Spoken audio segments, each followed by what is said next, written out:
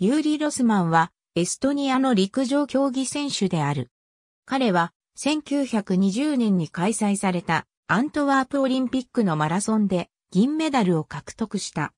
ロスマンは1920年のアントワープオリンピックと1924年パリオリンピックの2大会連続でオリンピックに出場している。アントワープオリンピックでは1万メートル走とマラソンに出場した。1万メートル走では予選で途中棄権し、決勝進出はならなかった。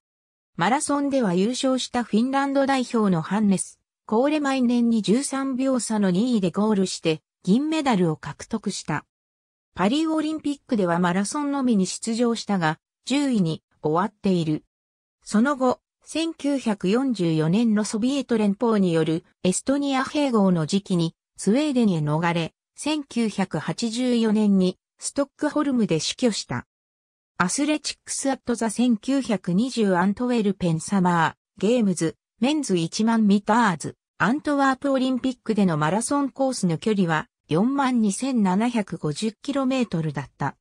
Athletics at the 1920 Antwerpen Summer, Games, Men's Marathon、ハット Athletics at the 1924 Paris Summer, Games, Men's Marathon。ありがとうございます。